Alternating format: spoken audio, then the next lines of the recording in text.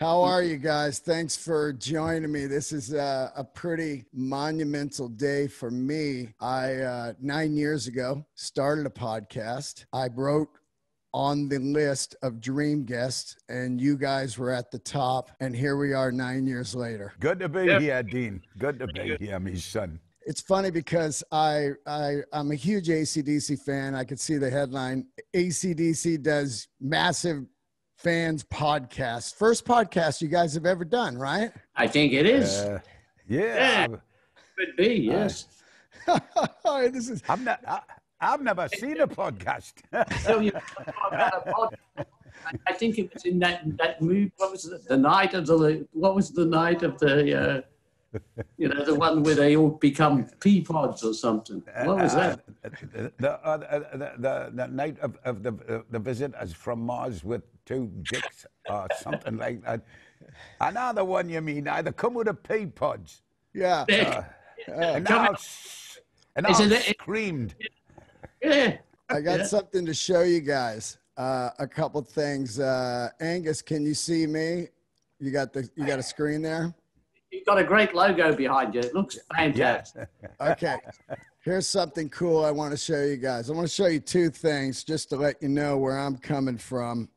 And I took the logo off just for a minute. This is uh, 1978, and this is the first time I saw ACDC Oakland Coliseum Powerage Tour. Oh wow, that's really yeah, that's something. That looks really good. Yeah. A- And the, Yeah. bi- the bill was Cheap Trick, ACDC, Journey, Blue Oyster Cult, Ted Nugent. Yeah. Good. Sounds All a good bill. That's a good bill. And those are those are the same bands I listen to to this day. Now, Brian, you're you're gonna love this one. This Oh, good. is the three of us, 1985, Fly on the Wall, Cow Palace backstage. Ah, Look at oh, oh, that is great, me son. look at Yeah. that. Now that is uh, Brian with the Heineken, and he's wearing a Statue of Liberty shirt, giving the middle finger. And A- Angus looks super happy to take the photo. I'm brilliant on photos. I, I gotta tell you something about that that day. It was uh, what I would say exact to skydiving. They said, "Hey, the guys will take a quick photo with you. Hurry up!" And I went in there, and it was like skydiving. I had skydived before, and it was just a, a burst of adrenaline. Zzz, And I don't even remember. You guys were like, "All right, mate, have a good one." And I was like, "What happened?" And I got home and I had the photo. I uh, I, I call the podcast "Let There Be Talk," but I think in the honor of Brian being here, it's going to be for those about to talk today. There we go. Oh, thank you.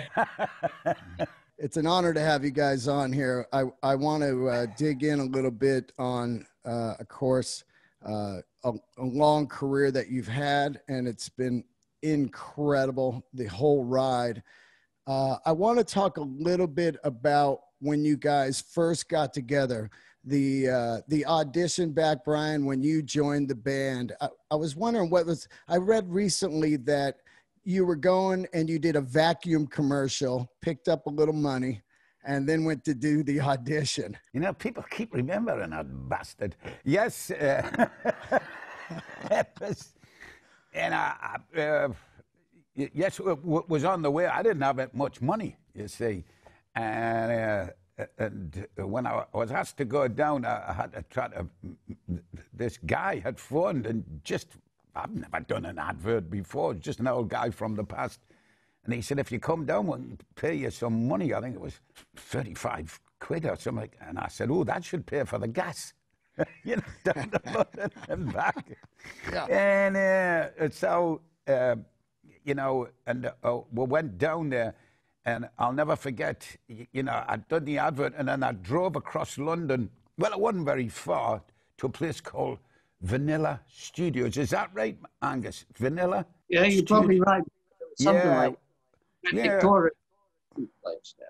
Yeah, eh, eh, and anyway, I got there and uh, uh, I looked in, and it, it looked the business. You know, guys with hair and beards and you know jeans and with holes in and everything. I said, "This must be the place." And they were all playing pool downstairs. they were all playing pool, and the cut of my jib, you know, I wasn't dressed like anything except what I was, a working Joe from up north.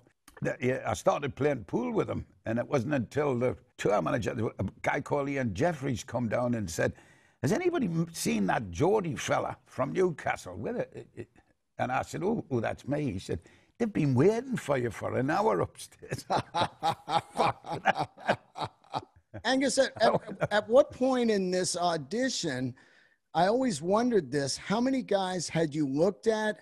And uh, obviously, you made the uh, incredible, uh, perfect choice. But were there other guys that came in? Was it a long audition process? Like, did that guy from Krokus ever come in? People that were, you know, out there doing this? No, we never got that guy. Um, no, there, there, were just various people. A lot of people, uh, you know, somebody might recommend somebody, and uh, so there was, you know, basically uh, at the time it was just Malcolm and myself, really. You know, we were there with, with our guitars, and me and him had been writing uh, uh, songs and stuff.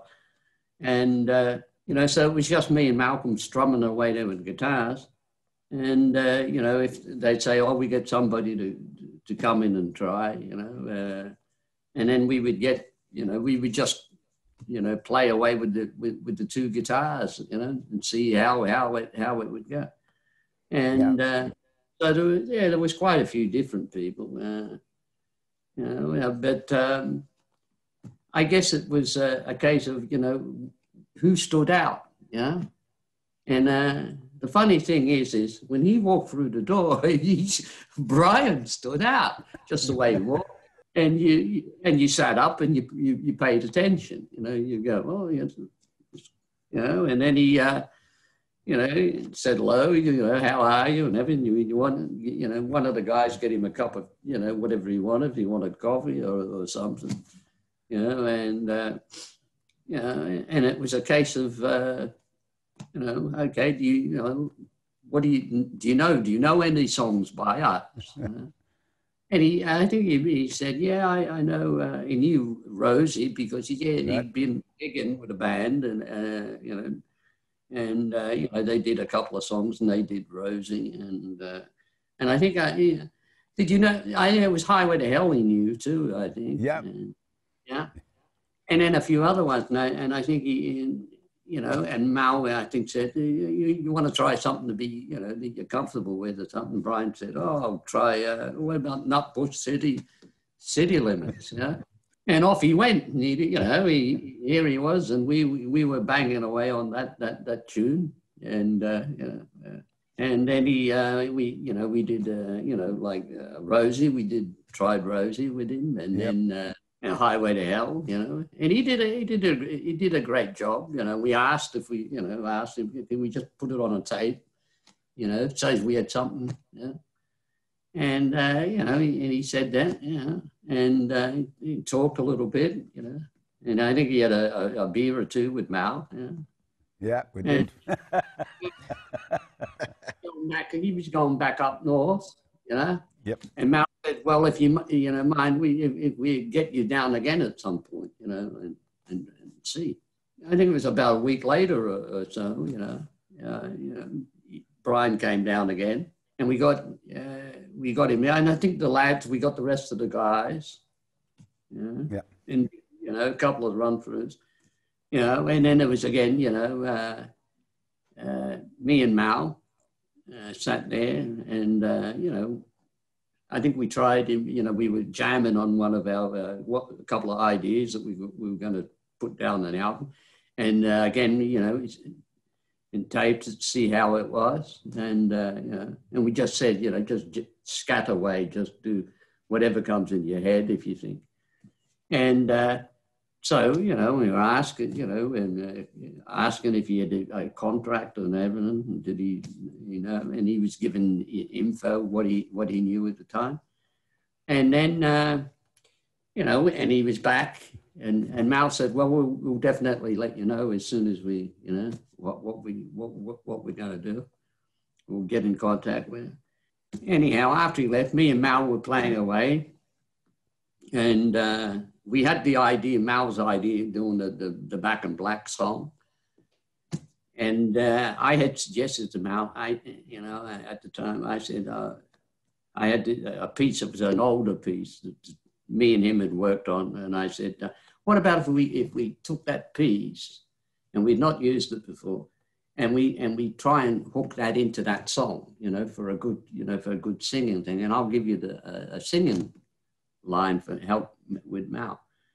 And uh, he said, well, let's hear what you got, right? So uh, we put that little uh, chord idea together and it, it was working. Mal seemed happy. And then he says, right, do your little singing, what you hear.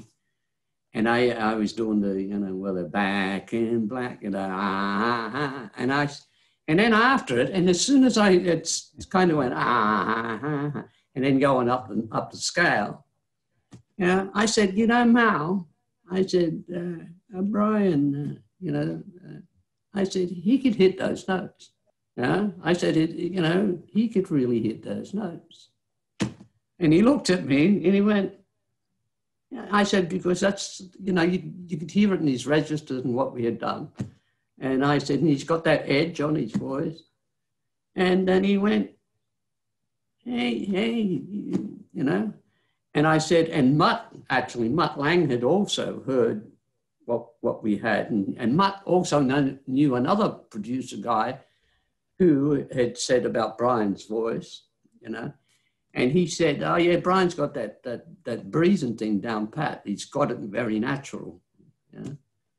And uh, and and Mutt liked that, you know, when we would sing it, you know, in vocalist. And uh, what we thought of, and it was like Brian, Brian had ticked, you know, in your head, had ticked all those kind of boxes. And uh, and Malcolm went, yeah, yeah, and he said, "Leave it with me." And he got a hold of uh, Brian and he, he said, uh, yeah, you know, hey, you know, well, how would you like to come and, and join us then, you know, talk to Brian.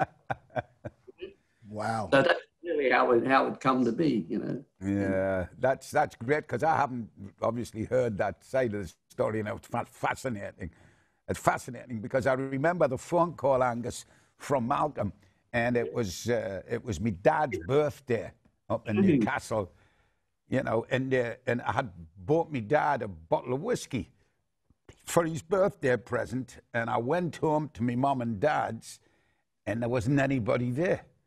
Yeah, and I went, oh, flip a heck. It was about two in the afternoon or something, 2.30, and I went, oh, well, I said, I'll just leave it here. And then the phone rang, because Malcolm had my mum's dad's number, and, uh, and it was, that was the phone call. And I said to Mal, I remember saying, hang on, are, are you sure this is not a hoax? he says, no. I said, well, could you ring us back in 10 minutes just to make sure that I'm not dreaming this, you know? And he did, God bless him. And he thought, now, uh, he says, you fancy coming to the Bahamas? We're making a record and all of this. And I said, oh, yeah, yes. He said, I'll get you people to get in touch with you. Okay, he said, I'm off to watch the Grand National on the telly, which is a horse race, you know. And I put the phone down and I looked and I was going, there's nobody here. So I opened my father's Chris, my father's birthday present, and I had a glass of whiskey to celebrate. That there wasn't anybody there to tell. It was it was strange, you know.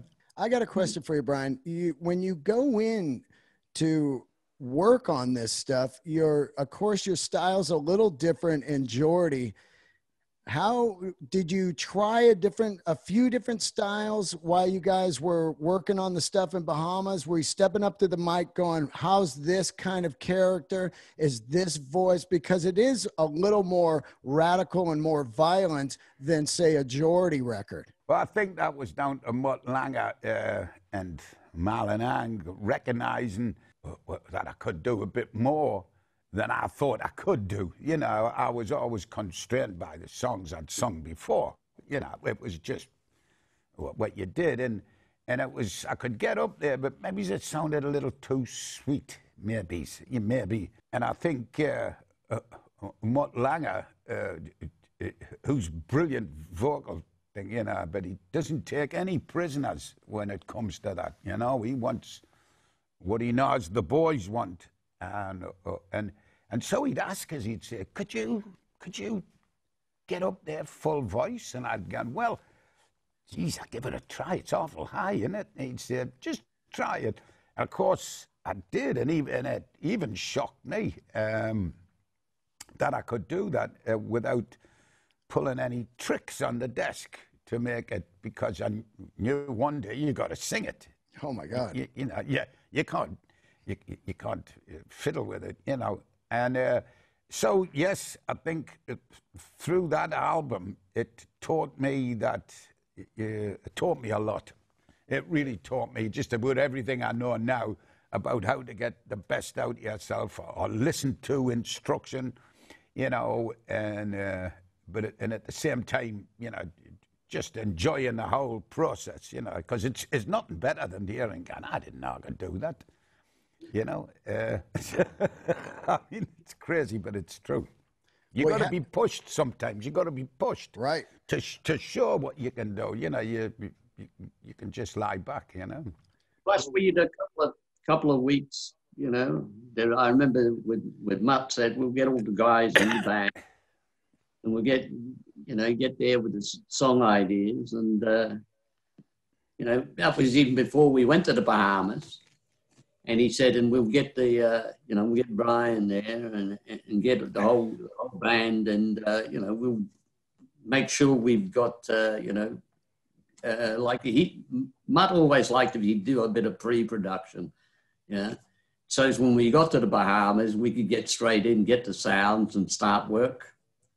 So we, Yeah. you know, we worked out a lot. You know, we got a lot of the ideas with the with the songs, and you know, just do arrangements and see and see. Try Brian out with how he was going to go, and so you know, it was a case of that. You know, yeah. So you know, we were pretty. We were we weren't we were kind of like we had that pretty much together and then it was a case of you know getting the rest you know getting lyric and stuff making sure that when we when we got to to the bahamas it was a case of uh, you know the band could get upset uh, get set up not upset but uh, get set up and then meanwhile when that's going on you know you know we could get together get brian and you know get the lyric things all going and uh, so that you know that, you know we could get the you know the whole thing started. So, and then when we got there, uh, you know, there was a lightning storm and all the power went out for three days. Wow. Yeah. yeah. Welcome to the Bahamas. That's- Yeah, you, know, I had to say this one as well. You know, some fantastic stuff happened. I, re- I remember, Angus, you and Mal w- weren't happy with, with the guitar sounds, you know, the amps and all the, the speakers. And I remember seeing something amazing uh, because they were trying to figure it. And somehow you and Malcolm said, hang on, why don't we turn the speaker up against the wall? Now, I, I, I, I, I don't know what exactly you know, but I remember seeing it, and I remember uh, it working, this great sound. You know, it was, I, I cannot remember exact technical details, but it was little things like that that stick in my mind about that album. And Mutt Yeah. Lange being real pleased that they got this fantastic sound. And it was you guys just saying, well, you know, let's try this. Uh, Yeah. yeah. Can you remember that, Ang? Uh, uh, That's well, right. Because he, when he first set up and we got the sound roll and we were doing the song Back in Black, Yeah. know, when we heard it back, it sounded a little bit too too polite. You know, the sound. It sounded a little bit too. Ah, that was And it. Mal, and Mal had said, uh, you know, and he listened, he said, eh, it just doesn't have our, you know, we want that, you know, a little bit of grit in there. And so, you know, it was a case of, okay, let's get what we, you know, get get at the ACDC sound. And Mutt was always cool like that. He goes, well, you use know your sound, you know, because use use guys, you, you know, that's what, what he ever heard of, as on stage. He goes, I, I you know, I hear it, I know it. He goes, and and Mutt was always good, you know. So Mal said maybe if we try the, they blocked off one of his like the stacks, and he did the same with mine. He put them in a different spot. And then he, he got us in, you know, with the guitars, make sure that you know it was getting the sound we that we knew, and uh, and then after that it was a case of uh, you know, all right, we were ready to go. Everyone get the drums, everything all tuned in, and then get you know get started and lay that track down. So that was the first track we we we laid down. You know. Wow, Back So- in Black, the first song, Yeah. Unreal, unreal. it was the track that set the pace for the album. Yeah. And once we knew that, because we knew that was it, you know, even before we went, I, when Mal got that idea, you know, it was one of those things that you, you hear it and you go. And I said to Mal, that's first track that we get. To, yeah. Because that set the pace.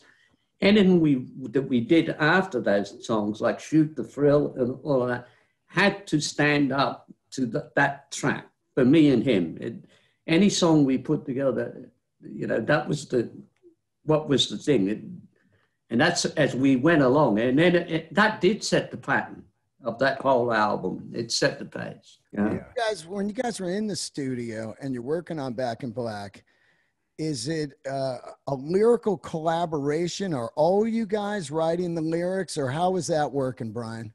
Well, at the time, it was, you know, Malcolm and Angus always had title and basic idea about what the song should be about and, uh, you know, and uh, how it should go and all of that.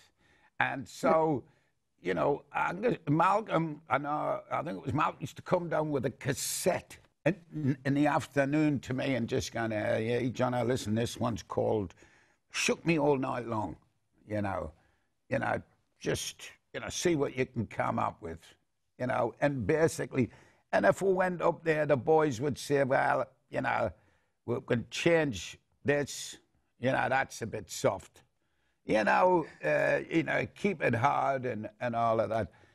And it, it worked great. I remember once I, I was about the fifth song in, and I think it was uh, Hell's Bells. I'm not sure. But I, I remember, you know, because it had been a f- frenzy of writing and all that. It was real work, work, work, you know. And I was sitting in my little cubicle thing, and it was a horrible day. It was getting horrible outside. Mutt come down. He says, Are you all right? I said, I think my brain's turned to mush. I said, I can't think of a thing. I said, now, and the lads have got this song called Hell's Bells, you know, and I went, oh, I, I, I said, uh, and, and just then, honestly, for the first time, uh, uh, the, the first four lines of that is basically a weather report. Angus. You know, it? and that big storm came through. And I was looking, I'm going, hell's bells. And, and, and, and Mutt came down and he said, Oh, it's all right, just relax, it'll come. And he said, And anyway, it- it- you know, he said, You know, listen to that. And it was this, you know, the, like uh, only the Bahamas can have, it was big black clouds coming in. And, uh, he says, uh, I, I says, it, it, Mutt's That's rolling thunder, that is. Oh man, So, and, uh, and then the rain came down, and then the lightning, and, and all of this, and it, that just all made sense, you know. And that turned out to be a cracker, that one, you know.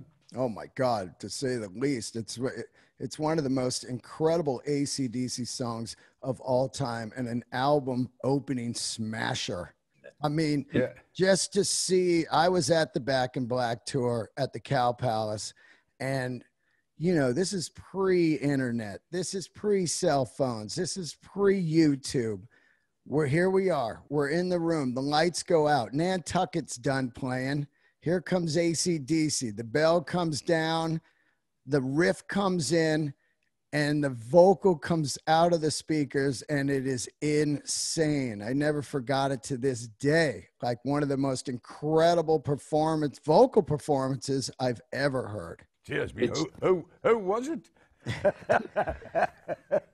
here's here's something amazing about Back in Black is this this record is so unbelievable and everything that happened the songwriting the production mutt lange the vocals all of that but then the record company seemed to really step it up for you guys and this is like really next level stuff that they were doing because who knew i mean here's a new singer that's never been done before. And now they're promoting the hell out of this record. They're going for it, man. They must have known this is a smasher. Yeah, well, we, we, we were pretty lucky at, at that time, you know. Um, at first, it is it's, it's a hard thing to do because, as you say, you know, it's the, the you know, you know, I mean, record companies are, you know, you, they've also got a business side to them, so they, a lot of them kind of go, uh,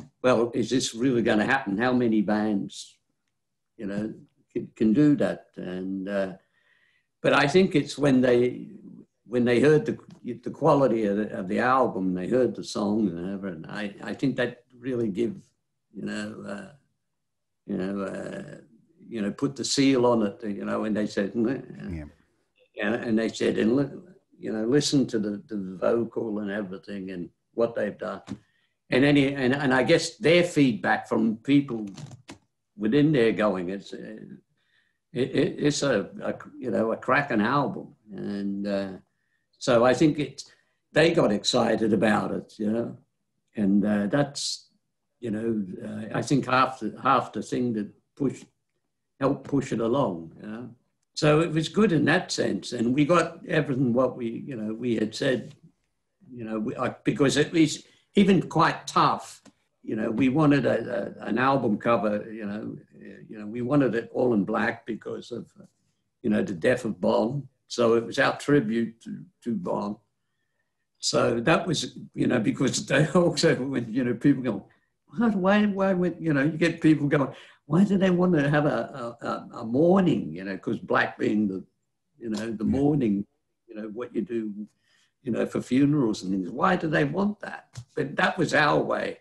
And we, we, we just wanted a plain cover, back in black. And as Malcolm said, and it, it, it, it was also a, a, a thing of uh, what does the cover really mean? It's what's inside really matters, you know. You know, so uh, the whole the whole project, you know, it, it was really good when the, when they got it and they and they said, okay, you know, we we're going to give it uh, uh, a best, you know, a good shove. And we were lucky also too because a lot of radio guys out there, they would hear it, you know, and a lot of syndicated radio were going, eh, if I put the, when I put these guys on radio, the, the, you know the you know all the phones light up. That's how how much you know a lot a lot of people were uh, you know plugged into that album. So that it was just that initial strong feedback. I think they said, well, we you know, we we got to push this. It's unreal. It's unreal. I mean, you guys go and do like five videos. Brian can also tell you too. We were touring on that album. We had to tour this, yeah. uh, and uh, we we were playing, you know, all over the, U.S. doing a lot of dates, and and for and for us as a band, it really after we had finished touring, and then we had stopped touring. Uh, and I remember being at home, and uh, you know, uh, the, the next, the, it was really the next year. Uh, you know, we, we were getting ready. We were going to actually be performing in Australia here. And, uh, and I remember uh, our tour manager, he come and he was there early and I remember talking to him. And he, he said to, to us at the time, he said, uh, uh, do you know, he goes, you, you, you guys have, uh, you know, you've just uh, sold a million and a half albums, right? And I said, well, that's a lot of albums. you know, that's a big thing. I thought, hey, we, we've sold, uh, you know, a million and a half albums. I really thought, great. And he said, no, he said, what you don't understand, Angus, he said, that's just in LA alone. That's LA alone. He said, that's not the rest of the country. That's LA. He said, imagine what's coming in the rest of the country. No, That's it, insane. Yeah. I couldn't believe it, you know? No.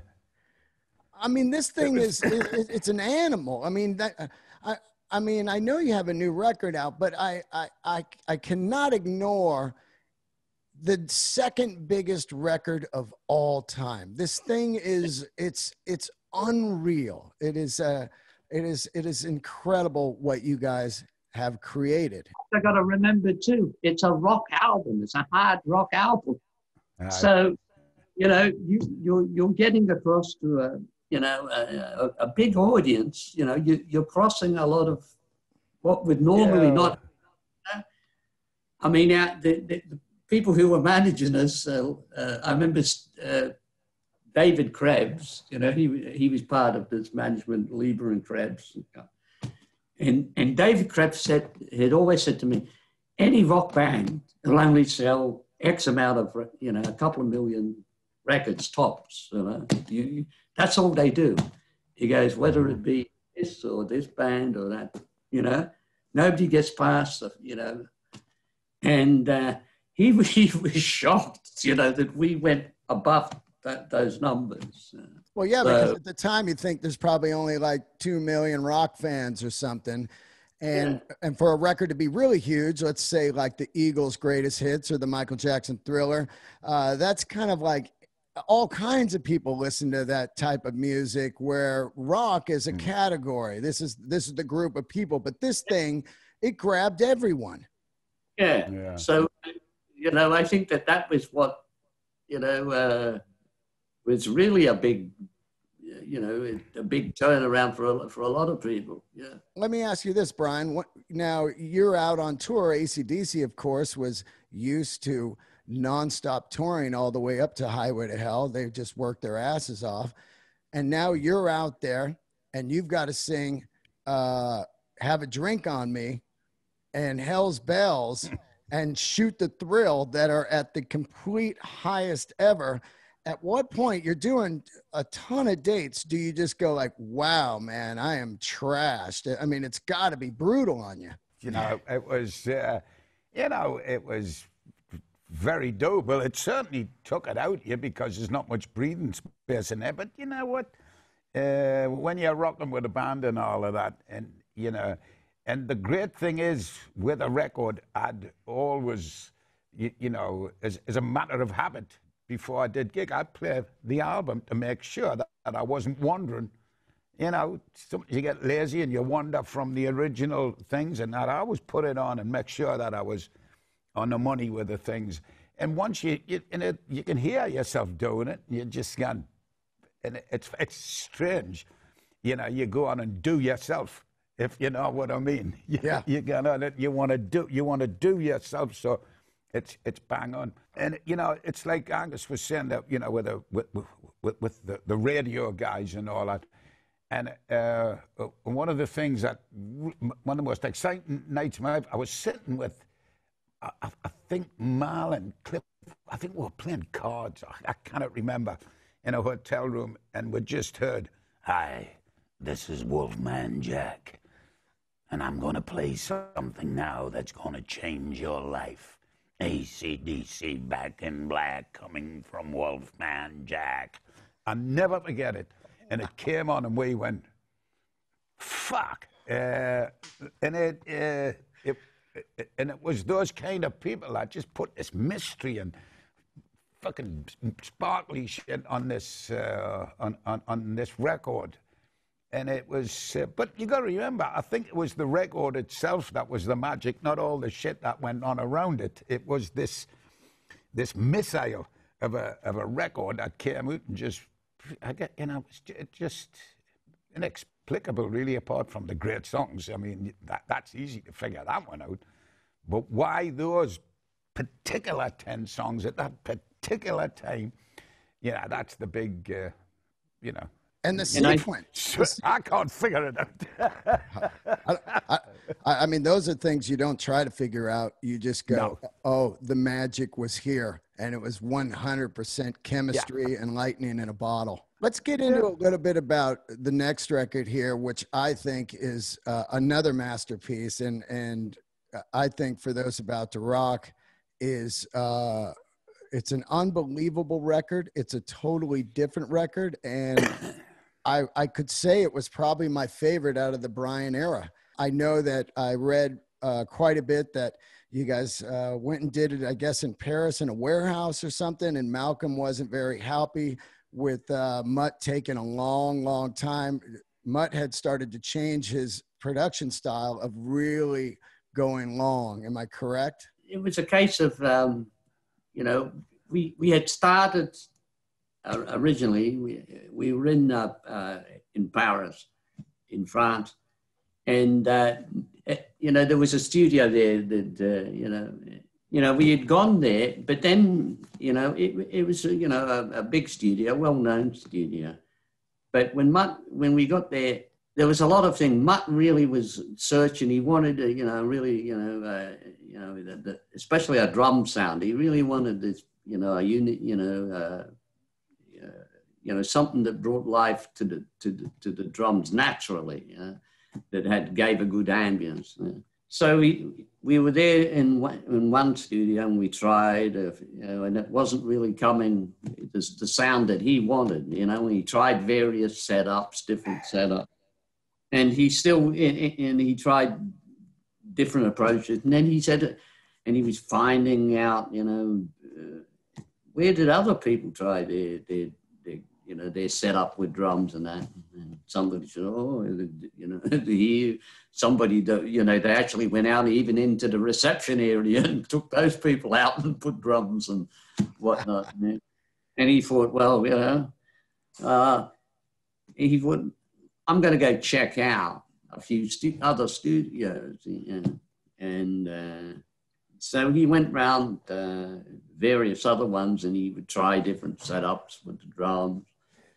And then he would get Malcolm and myself and go, oh, come and have a listen. And then, he, you know, we'd be in one way. And he would still, he goes, yeah, this is better, but it's not, not what I'm hearing. And he said, you know what? Because we had been in this big rehearsal room uh, where we'd been doing pre-production with, with him. And he said, you know, in there we were getting this really great live drum sound, natural uh, sound. And he said, why don't we, you know, what, what about if we do this? We get, uh, you know, uh, we get that Stones mobile, the, the you know, the mobile uh, uh, bus thing that they had, or which was a recording studio on wheels. We'll get that here. And then uh, we'll just set up in that big warehouse. So that was where where where we uh, we ended up setting setting up, and uh, and and he thought great because he could put the drums, you know, where he thought the drums were you know were happening the best. He could you know with the guitars he could do anything because there was that much space, you know. You could put the guitars anywhere, you know, where it was going to uh, come to life, you know. He even had his even set up, you know, how we would live, you know, like with the with with the amps and that, just to see if that was even going to be you know, something unique. So he tried different setups. Uh, then once we he was happy with what you know with what he was hearing, it was a case of okay, we you know get down to uh, the, the fact of start recording the songs. So yeah, but it was it was that took a little while, you know, moving back and round and, and trying to find and. Uh, so that was really what was kind of uh, delay, uh, delaying it a bit. and as and as you and probably because it's you know it not being a fully recording as you would normally know, you know you could be taking a lot longer trying to get certain things the way sound and as how, how it should. So you know, it, it, would take a lot longer in that part. So th- that was becoming a little bit, uh, you know, with us, I guess, you know, what we didn't want was the band getting burnt out, where we keep playing the same song until it becomes sort of too tired. You didn't want to lose the energy of it. And that was what you, you, and you didn't want fatigues to set in. You wanted, you know, when you're playing it, you wanted to sound fresh and exciting. So that was what Malcolm we really was, you know, he didn't want the, you know, the band to sound like, a, you know, um, uh, you know, like, you know, you're getting into a kind of a burnout, you know. Okay, I got it. Yeah. Brian, I, I think that uh, this record, you, you really shine again on it. Uh, uh, the amazing thing about ACDC, I've always said, is a lot like the Rolling Stones. You have so many songs that have never been played live. And it's crazy to think about you have albums and albums and albums of these songs that have never ever been played live and a couple of them boy i like spellbound i think is one of the great great great acdc songs Yeah, I, I, I love that song. It, it's the it's one of the most fabulous problems you can have. You know, having too many songs.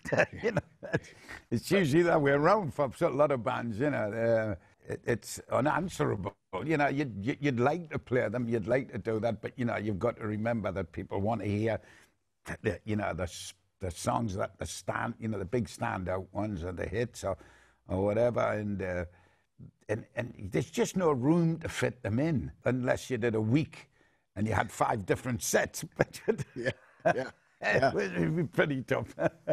I get it. I, I do a I do a ACDC tribute once a year with uh, a lot of rock stars in LA and and comedians, Bill Burr and Marc Maron, and we we do this big ACDC tribute. And we, you know, this year I was like, well, we got to do uh, Soul Stripper, and uh, let's do. Yep. Can I sit next to you? And and you know, you whip them out, and and the crowd's like, and they're like, "Hey, man, these are some of the great ones. Listen up." You know, it's like, I get it. I get. It. I understand it. yeah. if you think of it, I remember, look, when we, even when we were back in black, I think one of the, the I remember we were going to Detroit and we were in Detroit, but they even on Yeah. that back tour. Oh, no, no, sorry. When we were coming to do, after we were coming to do, when we were touring for those about to rock, I remember the opening night, we were on stage playing for nearly three, three and three quarter hour. Look, Brian's up there on vocal. That is a heavy strain for anyone going what he was doing. And and we're going for all the hard ones, you know. The, Yeah. we we come off off stage. We think, oh, we've only been on three and a half minutes. But people are going, you've been on three hours forty five, you know, forty five minutes tonight. You know, W- When you put together when you put together the uh, set list, was there any songs that you wouldn't touch, Brian or Angus, that you didn't want to do? That was like a an uh, a Bon era. Like I noticed that Live Wire went away. Of course, that was always a great opener. Brian will tell you any every song we ever done, Back in Black included. For those about to rock and we went through in rehearsals. We did all those tracks. We were prepared for any of those tracks to come up and, and play. We would have to go on and go. We know we have to play this one. We know we have to play that one. We know we have to play this one. We, we know we have to play those tracks. And you were saying before, like Stones, you know. Well, if I went to see the Stones, I've got a wish list. And I go, I want to hear the Stones do honky tonk woman. I want to hear them do jumping jack flash. I want to hear Street Fighting Man. I want all I want them to play all my favorites. You see what I mean? And that's what happens with us. We have all those those tracks, and we don't. We go out there and we go. We know this is these are big songs that we got we we got to play, and then on that we got to go. Okay, maybe we can color it up a bit and bring in something a little bit different. This is where it ends up. How long can we sustain it on stage? We we, we never wanted to get on and and go. Uh, you know, uh, they, they, these guys are, uh, you know, you know, getting up there, and we're not peaking. For us, as a band, we, that was always our thing. We always went, we always went to the, we wanted to go on it this strand, and we wanted to go like that. That's it. I, I know that uh, Phil is back, and you had Simon Wright, you had Chris Slade. Um, Yeah. it, it's funny because Phil is the secret weapon of ACDC. When he gets in, when he gets behind that kit, it's on. You can talk to the greatest drummers on the planet. I've interviewed most of them on this show, and all of them will be like, "Oh yeah, Phil Rudd." You think he's doing nothing, and then you go to play an ACDC tune at a at a jam or something, and they go, "Uh, I don't know what I'm doing." And these are giant top pro guys. Phil is uh, uh, he's he has a unique gift. It's a natural thing that he put it this way. When I first time ever Phil got behind the drums and played, I said to Mal, when that guy starts driving, you know, when he starts driving and you're doing a guitar solo, man, I've got to play harder. I have to Right. lift my game. I have to, to, to really belt into it. I go, because I ain't going to be heard once he starts cracking that. Yeah? He- He's got a, got a unique drive, yeah?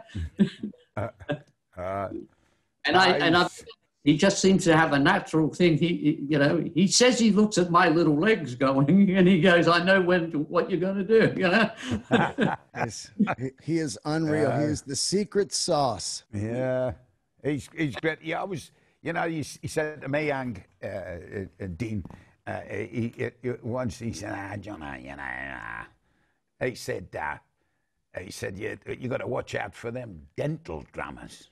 And I said, what's a dental drummer? He said, ah, you know, the kind they see a hole, they'll fill it. you know, because his whole thing is just keeping the beat my arse. Uh, he, you know, I don't know what it is. He hits the beat. Uh, you think he's going to fall off the stool before it just hits it right where it's supposed to swing, you know, or roll, whatever you want to call it. And he's fucking, it's just natural. And, and, and it gets you every time, you know, you, you know, he's, he's, he's great. And, and uh, we love him. He's Yeah, I get it. fit, he's You know, healthy. you know, when I've known him, you know, going way back from you know the early years and all all the way through, and I mean, he, he it's it is that. It's just that he's he's so natural. Let's talk a little bit about, of course, you guys, uh, you've been doing this all your life, and uh, I've had a lot of, a lot of uh, guys on. I had Paul Stanley on, and uh, recently, and he was talking about two hip replacements and stuff like that. I watched you, Angus, my entire life since 1978, jumping from three stacks of Marshalls, landing on your knees, uh, full tilt, head bobbing the entire time. I mean, doing doing the circle on it. What what is your body r- like right now at your age? Have, have you had any uh, surgeries or anything? Uh, none, none whatsoever. You know, I mean, I've been, I've been on stage. I might do the odd bruise and ankle.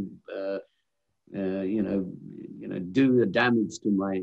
I, I used to use lose a lot of my my my my nails on my my feet. They used to go first. You know, because I don't know the wear and tear. They would. I was guaranteed every tour. I would, you know, I, at least three three or four times during the tour. I would, you know, lose a toenail or two, you know. So that was always expected. But I've been pretty, pretty lucky. I, you know, I've even gone through stages when in my early years, you know, because some of them, you know, like you had to use what the, the stage was in the building. And sometimes, you know, you, you know, some buildings used to give you A, they had an A stage and a B stage, you know you would they go I, yeah, I could always tell when we got the b stage because you know i could guarantee my feet were going to go through them. Yeah i'm lucky. I, i've been pretty lucky you know. I might get the odd i think the worst i ever got was a, a, a, a you know a thing with my finger one time. I had a splint. That lasted i got on stage i did that that lasted all of a second. That that came off in the first thing, and I still had to play with the with the fractured finger. So I was pretty. I got through that. You know. How about you, Brian? How are how are you doing? Uh, well, uh, you know, I've, I've been lucky. I've never spent a, a night in hospital in my life. Uh, touch wood. And, um, you know, it's uh, apart from, you know, the, the obvious was when my ears went and all that, but that's invisible. So thank God for that. But uh, other than that, honestly, I've been as lucky as Angus in a way, you know, we should have been hurt, me and Angus, many times, you know, uh, with wandering cameramen and booms and, you know, and big black holes in front of you and stuff like that. But we were always uh, very lucky. I I uh, I know you, you don't want to get really into the uh, the hearing thing and stuff like that, but I uh, I'm so happy that you're back singing in this band, and it it it gives me man. goosebumps. I I I'll tell you guys a funny story. I heard the record back in March. I was called down to Sony. They said Ah, yeah. who do you know then? nobody had heard the record, and they said we want to get ACDC on the podcast. We know you're a monster fan, and we know you've been doing this nine years, and it's your dream guest. We want to do this. Come down. So No. I signed a an NDA, a secret clause. It's just me in a room, no one in there. A bottle of water. They turned it on, and I was losing my mind. And then for the next seven months, I had to walk around like I didn't know anything, listening to Yeah, join the club. I, I know, right? Join the club. Oh. It was that's awful. They give me non-disclosure all the time. Here you go. Yeah. Yeah. Oh dear me. Yeah. uh, well, I, we'd be walking around for months and going, "So man, what's happening, man? I hear the, you know, there's photographs on the thing, man, and like, you know, come on, you can tell me. I don't know what you're talking about. Oh, come on, man. And he goes, I don't know what you're talking about, honest, mate. But it's just, and then later they're going to foot, you lying bastard. You fucking. Well, you know what was funny was like about a month ago, I was like, well, you know, COVID, maybe it's it's maybe it's not coming out now. Maybe I'll just fuck it. I'll just go on and do a whole episode about how I heard this. And I said, eh, I better wait a little while. I don't want to blow this. And a week later, they called me and said, All right, it's on. And uh, so don't talk about it. It's going to happen. And I was like, Oh my God. And I was just losing my mind. But funny to listen to it. I, I felt like a kid when I went and bought Back in Black. I remember I rode the bus for an hour, went to Tower Records, got that Back in Black, and got home. This was the same. I drove across LA in traffic, parked, went upstairs, sat down, and they go, Are you ready? And I go, Oh, absolutely. And they go, Do you just want to hear a couple songs? They go, What are you out of your mind? you know? so they kicked it on and uh and realize came on and I was like, wow, this is killer. But by the time we get to the crown jewel of this record, Demon Fire, I'm like, Demon Fire and Witch's Spell. I'm like, oh, oh, here, here is some serious rocking going on right here. I mean, what a what a couple tunes back to back right there. when I first heard it, just like you did, uh, I think I, I sent off a communique to Angus, and I said, "Hey, mate," I said, "I got to tell you, I mean, this album, I'm going to listen to it straight away again." He said, "But all I, I got to say is that I'm, I'm happy I'm not the guy that's got to pick a single from this, cause I am, I'm confused. They're, they're all, you know, they're, they're all eligible." You know, Let's talk Yeah. about Through the Mist of Time. That's got to be the most um, the most different song ACDC has ever done. Is this? Did Brendan have a hand in this? Because it does kind of have a. Uh, it's almost kind of an Americana Springsteen kind of vibe. This is totally different for ACDC. Yeah, well, somebody somebody also commented said it's like a Stax or something, you know, like from that. The ideas, you know, the song ideas were like, like with Mal and myself, and uh, and it was just at the time, you know, when you're doing something, you know, we would play a track and then you would do something, and when you would play back a few tracks in a row, and you would go, something stands out, and when you got a few ideas and you run them past, and and that one jumped out at you. So for some reason, you go, it jumps out, and you go, it's a little bit different, but it's still, you know. And as Malcolm always said, you know, by the time we finish with it, it is ACDC. So that's how we, you know, it, it, always was the way we work. We always you would listen to them, but the ones that jumped out, you go, I, there's there, there's a bit of magic there. That's that's got ACDC written all over it.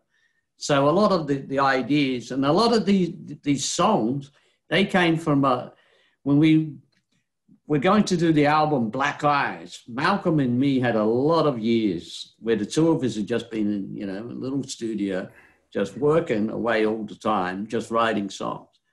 And in that period, with so much stuff, uh, when we even when we went to do Black Ice, it was a case of you know you've got a, a few boxes of your, your ideas, and it was a case of uh, we only got even the, the box one, and we were just pulling out the first CDs and stuff that we had of, of, of tracks, yeah, and we were putting on. And it was a case of we we you know when we were sitting down with Brendan, and Brendan's going, I like that, I like that. And that was just the first CD. I like that. And we never, you know, by the time you got that, you got like 20 ideas, you know, that he, he's already got. and then we go, you know, even when we were doing it, I think we got to a, we were putting down tracks for, for Black Ice, you know, and it, and it's like it comes to some point, you know, Brendan goes, well, you know, you, you're more than covered. You've got enough for a great album here. And I was even saying to Mal, hey, you know, we, we're rolling here. Should we just continue and do do some more? And, uh, you know, and Mal said, no, we, you know, we'll get them later. Don't worry. We'll get it, you know, nothing, because he's always said, nothing goes to waste with us, you know. We, you know, if we got a good idea, it, we're going to use it. Yeah? Mm. So basically, that's really what what what I had when I went, you know, I had to go through all, all of this uh, material, and uh, you know, and for me, it it, I mean, going through it, it's a lot easier task, as I said, because of that time. You know, we had marked out all what were the ACDC, the ones that really stood out. so you know, and I've still got a lot of, of those ideas. You know, so I'm I'm I'm I'm still not done with all what I what I have. Yeah. Well, there might be another one. Then you're saying, huh? I yeah, I I've got and maybe I don't know how many that I would have.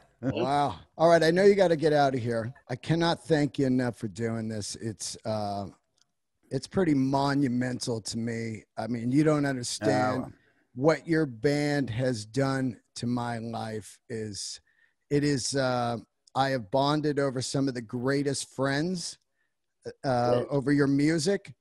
I have had some of the greatest memories at your concerts, hands down.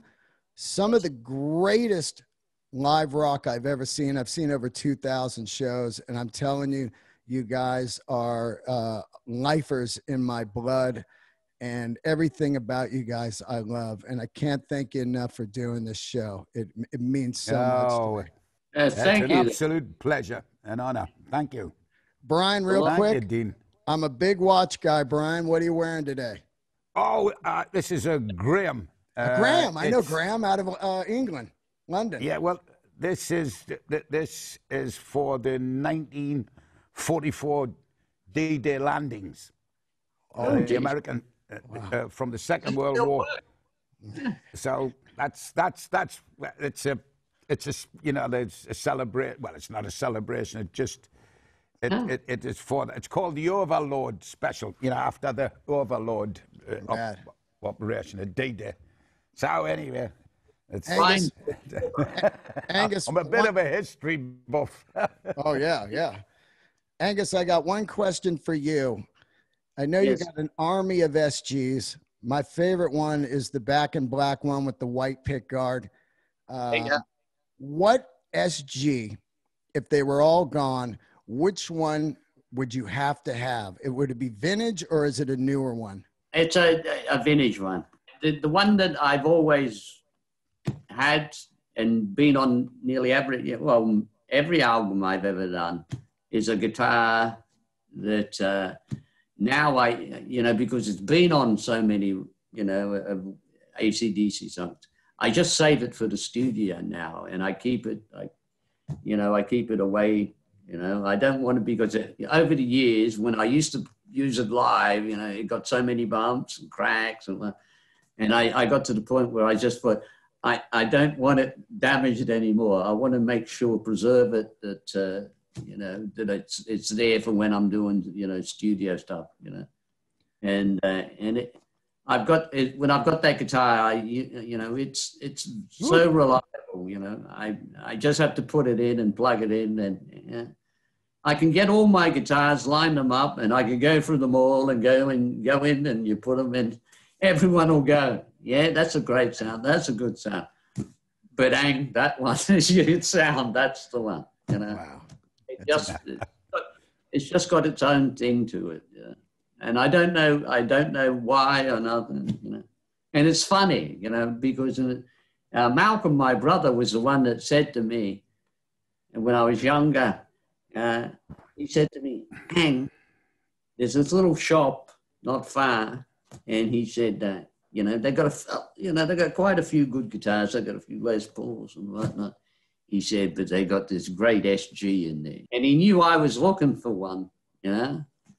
And so, you know, I went down the shop. I, I picked you know, I tried and went through the other ones. When I got to that SG and I played it, went through the other ones. I came back, I played it, and it was like uh, I just went this one. It, you know, I it just it played so well. I didn't even have to think about it, or you know. And nowadays, it almost does play itself. You know, I, I, I can put it when I put it on. I, it makes if I'm playing, it makes my, you know, it just does its own. It's got its own thing. You know. Yeah. I love you guys, man. Thank you so much. Ah, thanks, Dean, me son. I could talk to you guys for 20 hours, man. And hopefully one day I'll get to backstage, chew your ear off to where you go, get this fucking guy away from me. Never. Thank you guys. Thanks, it's a Dean. pleasure, me son. Congrats See you on that new record, man. I cannot wait to see you guys out on the stage again. Thank you. you. Thank you. Bye. Bye bye. See ya.